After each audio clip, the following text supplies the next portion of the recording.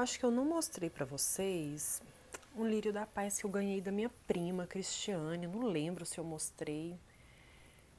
Mas assim, eu já fiz de tudo com esse lírio da paz. Ele era bem maior, eu replantei, dividi em dois vasos, inclusive vou até mostrar para vocês o outro vaso que eu dividi.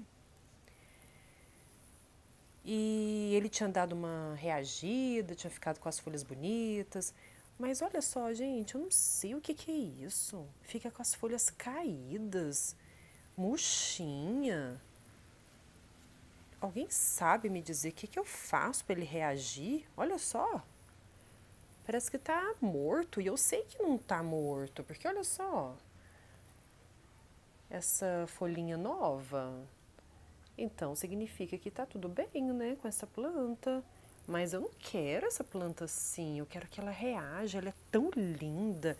Eu vejo essa plantinha assim é, na casa dos outros, tão bonita, tão viva, com flor. Olha aqui. Coitada, gente. Não, tem alguma coisa errada com ela. E eu quero descobrir antes de perder essa planta. Não posso perder. Ela tá bem estranha, olha. Gente, me ajuda me dá alguma dica para eu poder fazer para ela reagir, porque do jeito que tá, eu sei que ela não tá feliz.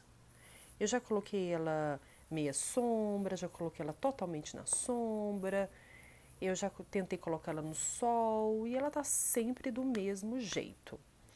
Já coloquei aquele adubo NPK, é 4, 14, 8, né? Acho que é isso mesmo. Eu já coloquei e ela não reagiu. Eu coloquei ele numa solução misturada com água. Eu acho que vou preparar ele, as bolinhas mesmo, e colocar em volta assim do vaso para ver se ele reage, porque tá bonito não, né, gente? Olha isso, que tristeza. Pra, tá bem para baixo. Deixa nos comentários aí que, que vocês acham que eu devo fazer com esse lírio da paz? Tá bom? Esse aqui estava plantado junto com aquele lá, naquele mesmo vaso. Eu achei que estava muito apertadinho e resolvi mudar de vaso para um vaso diferente. E eu acho que ele tá gostando, porque olha só, tá com uma folhinha nova, tem mais folhinhas aqui, ó, tem mais uma aqui, novinha também. E tá bem pezinha, tá vendo? Tá bem diferente daquele lá. Então, problema é com aquele lá. Vou esperar uma posição de vocês, viu? Para vocês me falarem o que, que eu devo fazer com esse lírio da paz. Um beijo.